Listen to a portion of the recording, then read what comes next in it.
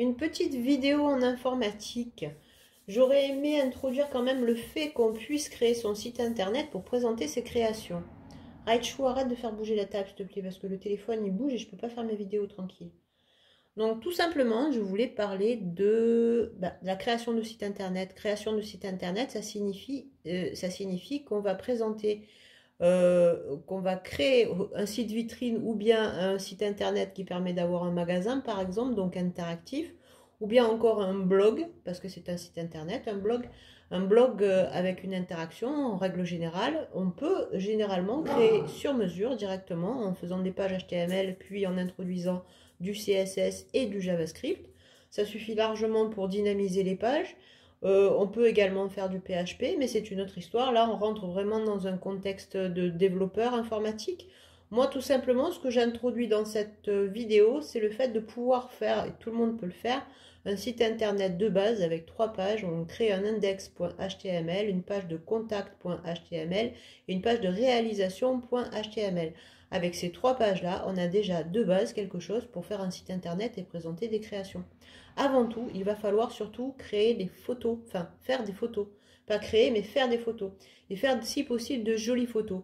Alors pour l'instant, on va travailler à partir de notre téléphone et sur une autre vidéo, je vous montrerai comment on peut faire des photos qui sont vraiment sympathiques à partir d'un réflexe.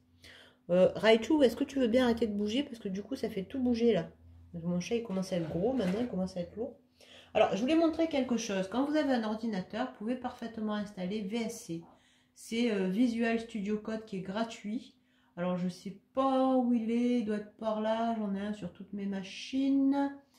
Euh, donc, à partir de ce Visual Studio Code que je ne trouve pas. Pourtant, j'ai les lunettes. Voilà oh là. Donc là, ici, si vous ne reconnaissez pas, c'est normal, c'est un Windows 11. Donc Windows 11, il a dû vous proposer voilà le sigle de Visual Studio Code. Windows 11, il a dû, il a vous proposer le système de mettre à jour. Donc euh, moi, personnellement, je recommande de le faire. C'est quand même plus sympa d'utiliser les dernières euh, possibilités. Oh là là Donc mon Visual Studio Code, il est là. Donc on voit la petite euh, icône. Alors, j'ai pas fait volontairement un enregistrement d'écran parce que j'avais la flemme, je suis désolée. J'ai un petit peu flemmard, moi, donc voilà, typiquement un index.html. Voilà un index.html. Donc vous avez... on était à la fin. Donc vous avez un doctype.html qui, qui, qui est l'entrée en matière pour HTML5. On en est à HTML5. Ensuite vous avez HTML, la langue. Donc c'est FR, ça peut être... Euh, ça peut être deux autres, en général c'est deux, lettres pour, pour les langues différentes. Vous avez le head, le head c'est-à-dire la tête. Ensuite, vous avez le body. Le body, c'est le corps, comme son nom l'indique, qui va jusque-là. Vous avez toujours une balise. On appelle ça des balises les, entre crochets. Euh, des balises entrantes et des balises fermantes. Quand il n'y a pas la balise fermante, ce sont des cas particuliers, mais ce sont des exceptions. Généralement, il y a toujours une balise qui va fermer. Ensuite, vous avez des divs. Alors ça, c'est le conteneur euh, par excellence euh, neutre. On met des divs quand en général on ne sait plus quoi mettre. je dis ça, je plaisante. Hein. En fait, on, utilise des divs à bon escient en général. Tout ce qui est créé en HTML, on peut l'utiliser à bon escient. On peut aussi mal l'utiliser, mais c'est une autre histoire. Ici, par exemple, vous avez une balise section et on pouvait même créer ses propres balises. Alors, je ne sais pas où on en est, il faut que je révise mes cours, par exemple, parce que là, je suis en mise à jour. Je suis en mise à jour, mais ça, fait 26 ans quand même que je crée du site internet. Euh, là, franchement, maintenant, j'ai levé le pied parce que je sais plus quoi raconter honnêtement. Je sais plus quoi raconter. Ce que je peux vous dire, c'est que mon site internet, le premier que j'ai, le tout premier que j'ai fait moi toute seule, euh, en créant toute seule pour, euh, c'était pour mon entreprise à l'époque, j'ai mis six mois pour le faire. Et je l'ai fait sur mesure directement, en intégrant différents langages de script. On appelle ça des langages de script parce que ce sont des langages qui sont interprétés et non pas compilés. Par rapport à des langages qui créent des applications, les langages qui créent des applications sont compilés c'est-à-dire qu'ils passent dans une moulinette qui, qui permettent d'en faire un, logiciel. Tandis que là, le, langage, lui, va juste être lu en fait. Donc il ne va pas être compilé, il ne va pas être transformé, ou très peu, des cas particuliers aussi. Donc je voulais juste montrer ça. Pour ceux qui veulent s'y mettre, il y a HTML5, le Memento de Rodolphe Rimelet qui est très bien. Et vous avez le CSS3. Parce que quand vous faites une page HTML, vous mettez, euh, vous, vous, décrivez ce que vous allez avoir comme par exemple, je vais mettre un paragraphe, je vais avoir une balise entrante qui va être P, euh, le petit crochet, P. Ensuite, je vais avoir une balise fermante qui va être slash, P, et le petit crochet dans l'autre sens. Donc, je ne sais plus comment ça s'appelle. D'ailleurs, ça, je ne me rappelle plus. Je ne me pas en tête direct. Euh, donc, ces, ces, balises entrantes et fermantes permettent de décrire le contenu. HTML euh, est un langage de description. Ce n'est pas un langage qui va permettre de faire des calculs. Ou du moins, avec HTML5, on commence à avoir des choses qui sont plus plus évolué, mais à la base, c'est un langage de description.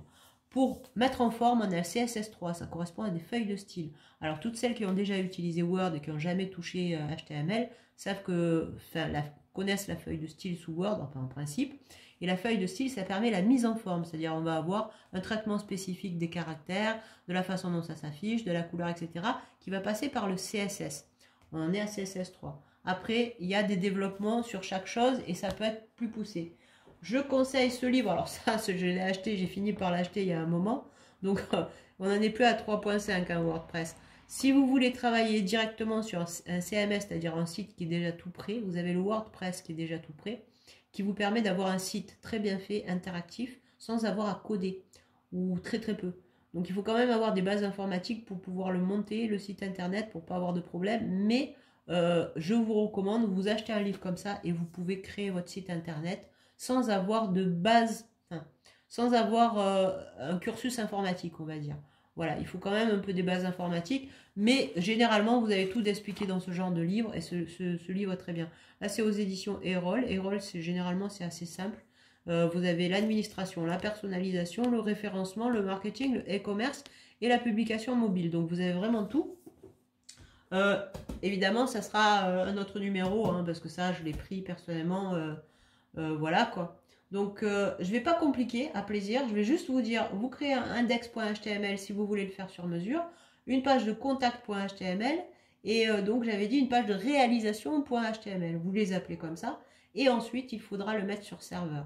Donc, pour le mettre sur serveur, il va falloir aller. Moi, je vous conseille d'aller sur O2 Switch, qui est français, qui est pas cher, qui a un seul, seul abonnement possible qui est très bien. au de Switch, un hébergeur web au serveur de qualité. Ils sont, ils répondent quasiment 24 heures sur 24, 7 jours sur 7. Ils sont vraiment géniaux, les gars. Personnellement, ça fait des années que je suis chez eux pour tous mes sites et c'est génial. L'hébergeur web par excellence, c'est vrai. Découvrez notre offre, je crois qu'il n'y en a qu'une. Voilà, alors là, on va laisser tomber tout ça. Un hébergement web premium et tout compris. En quelques minutes, 5 euros hors taxe par mois, ça va faire du 7 euros ou du 8 euros par mois. Par an, ça va vous faire quelque chose qui est euh, de l'ordre de 80 euros, euh, ou même peut-être 100 euros, mais euh, je ne sais plus exactement. Donc vous avez le nom de domaine qui est offert, vous avez l'interface cPanel qui simplifie tout, le transfert mensuel illimité, c'est-à-dire si vous, au début vous vous trompez, vous mettez des photos qui sont très lourdes et des vidéos, ben, c'est pas grave, vous n'avez pas besoin de... Voilà. Alors là c'est encore autre chose, vous n'ayez plus besoin de compter vos visites. Voilà, l'espace disque illimité, bon, c'est plutôt ça. Et ça, le transfert mensuel illimité, c'est le nombre de personnes qui vont se connecter. Euh, support technique 7 jours sur 7, voilà, c'est ce que je disais. Ça, c'est vraiment bien. Euh, bref, voilà, vous avez vraiment une offre qui est super. O2 Switch, comme le, nom l'indique, O2 Switch. Euh, je ne sais pas si on le voit bien au téléphone. Est-ce qu'on le voit bien? Non, on ne voit pas bien. On ne voit pas bien. Bon, il y a des cas où je ferais mieux de filmer directement l'écran. Mais je peux pas tout faire, c'est-à-dire que si je filme l'écran, je peux pas vous montrer les livres. C'est un fait. Donc je récapitule. Si vous voulez faire du sur-mesure, vous installez VS et Visual Studio Code, c'est gratuit. Vous pouvez vous y essayer. Vous l'ouvrez, vous créez une page qui s'appelle fichier, nouveau fichier, et vous créez, vous le renommez. Voilà, vous faites ça. Alors je sais pas si on peut le faire comme ça. Fichier Évidemment, ça me fait mentir. Mais enfin, vous pouvez l'appeler du nom que vous voulez. Enfin, là, vous regardez l'aide, etc. pour vous y mettre. Ensuite, vous allez coder en HTML. Ça va être plus simple que vous ne le pensez. Vous pouvez faire... Alors là, c'est une page qui est longue. Hein, ça peut être une page très courte. Vous allez utiliser du CSS, donc créer un autre fichier CSS pour gérer euh, vos pages HTML. Donc ça aussi, vous le verrez quand vous vous y mettrez. Et vous avez aussi ce genre de livre pour vous y mettre sérieusement. Rodolphe Rimelet, HTML5, une référence pour le développeur web. personnellement, j'ai pas encore terminé de regarder les possibilités. Euh, évidemment, ça sera plus récent. L'édition sera plus récente. Je vais regarder ce qu'on voit quand même, si on voit bien. Voilà. Moi, personnellement, je conseille ça. Si vous voulez aller plus loin, vous avez des formations euh, de graduate developer sur euh, Study, par exemple, sur Digital Campus, qui sont géniales. Franchement, j'y suis. moi, je me mets à jour, mais il y a des choses que j'apprends. Hein. Donc, il y a beaucoup de choses qui se font dans la matière, mais ça, ça devient un métier à part entière. Maintenant, moi, ce dont je parle, c'est d'une initiation.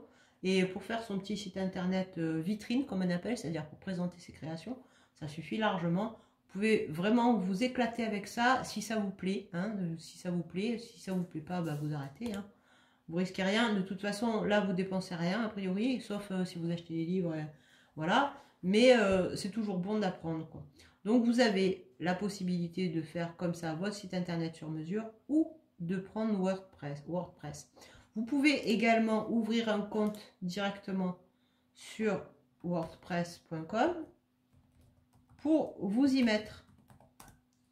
Personnellement, je suis pas je suis pas super euh, pour, mais j'ai rien de vraiment contre. Faut faire attention de ne pas commencer à payer parce qu'après vous êtes captif. Après, il faut essayer de le migrer, c'est-à-dire récupérer votre site pour avoir votre propre hébergement. Comme ça, vous êtes totalement libre et finalement, au final, vous paierez moins cher. Que là, si vous commencez à payer les extensions, etc., vous êtes captif de WordPress.com. Euh, et, voilà. Quoi. Et ça n'a rien à voir avec WordPress.org parce qu'au départ, le WordPress, le CMS, il est gratuit, il est open source. Ça veut dire que la, la source est ouverte, on peut la modifier et la redistribuer. Tout ça gratuitement. Donc là, ça commence à devenir quelque chose qui est payant et moi, ça me gêne. Euh, ce qui me gêne, c'est que le, produit lui-même devienne payant avec ses extensions. Euh, quand on prend un, hébergement, c'est normal de payer parce qu'on utilise une partie de machine. Donc on a, on a euh, une, comment dire, un, hébergement mutualisé. On va partager des, morceaux de serveur avec d'autres. Je résume hein, vraiment très grossièrement. On va partager. Donc c'est normal qu'on paye, qu'on paye mensuellement ce qu'on utilise. Mais euh, maintenant qu'on paye euh, quelque chose qui est gratuit à la base, euh, sur mon hébergeur, si j'ai envie de mettre WordPress, je le mets. Si j'ai envie de mettre autre chose, je le fais. Si j'ai envie de mettre 50 WordPress, je peux le faire. si j'ai envie de te mettre toutes les extensions du monde gratuites, je peux le faire. Je veux dire, je suis totalement libre sur WordPress.com. Non, ça va pas être comme ça que ça va se passer.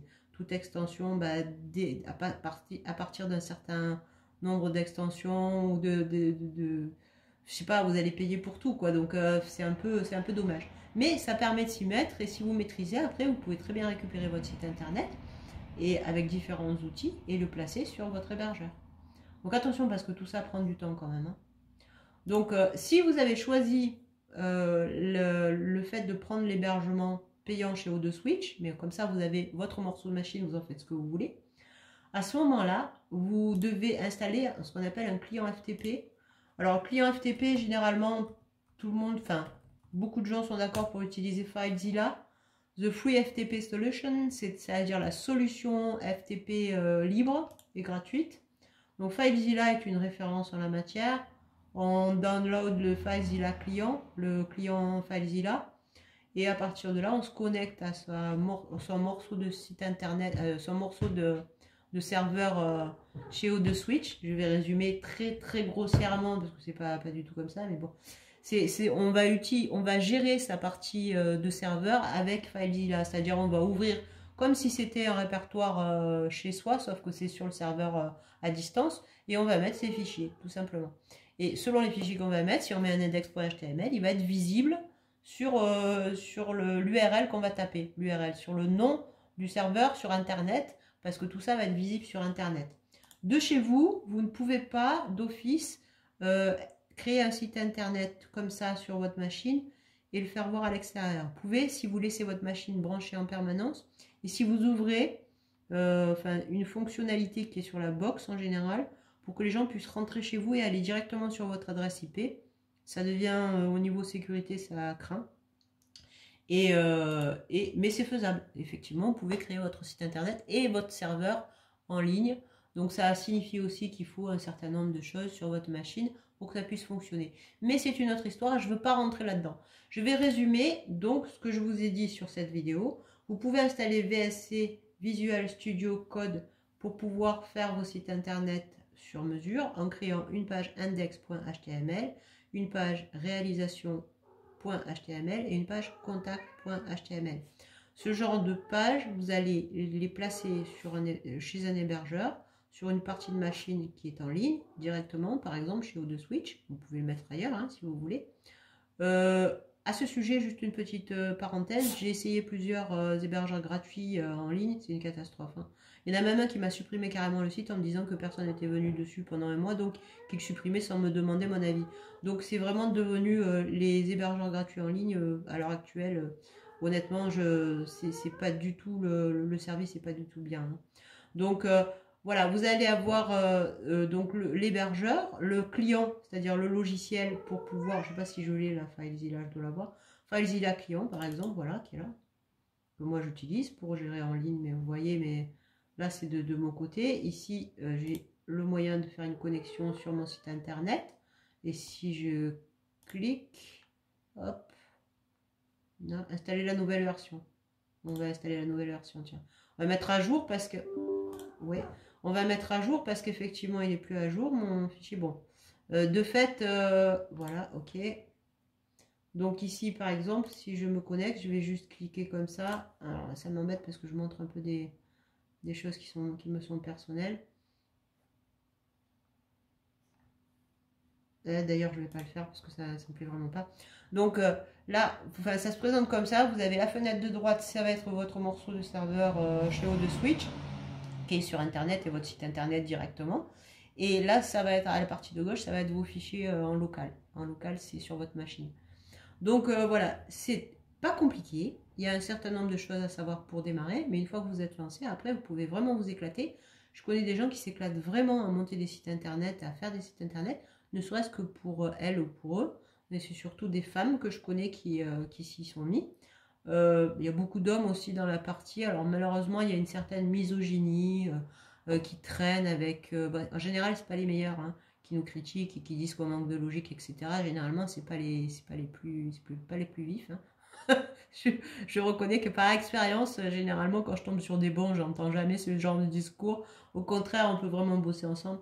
Donc, mais bon, malheureusement, on, aura toujours affaire à ce genre de gars qui essaie de, rabaisser pour essayer d'avoir un petit, petit petit pouvoir.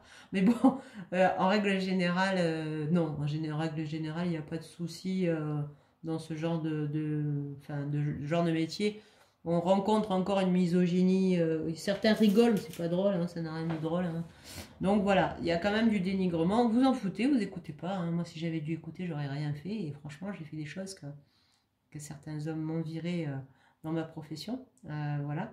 Et il y a beaucoup d'autres hommes qui m'ont fait confiance, sinon j'aurais pas pu les faire et qui m'ont même poussé en avant. Euh, donc voilà, il y en a même certains, ils m'ont poussé trop fort en avant. J'étais trop dans les premières lignes, j'avais envie de leur dire, non mais c'est pas parce que je suis une femme qu'il faut aussi m'envoyer dans les premières lignes, quoi, j'ai rien demandé, moi. Laissez-moi au milieu, tranquille, comme vous l'auriez fait avec un autre homme, c'est-à-dire à, savoir que je fais mon boulot, mais je suis non plus, je suis pas non plus sous les feux des projecteurs. Donc voilà, c'est très bien. Tout ça, c'est un aparté pour dire, vous pouvez le faire. Après, il faut que ça plaise. Voilà, ça vous plaît, vous faites, ça vous plaît pas, vous faites pas, évidemment. C'est une évidence, mais euh, ça n'est pas pour tout le monde, a priori. Donc euh, voilà, tout ce que, je voulais dire pour l'instant, c'est ça. Le site internet, c'est pas compliqué à faire. Euh, c'est pas, pas compliqué à mettre en ligne, etc. Mais ça prend du temps. Ça prend énormément de temps. maintenant, quelqu'un qui est capable de faire un point de croix est capable de faire un site internet. Alors là-dessus, je suis catégorique. Voilà. Je vous souhaite une bonne journée. Je vous dis à bientôt et j'aborderai un autre thème en multimédia plus tard. Pour l'instant, le site internet, je trouve que c'est déjà pas mal.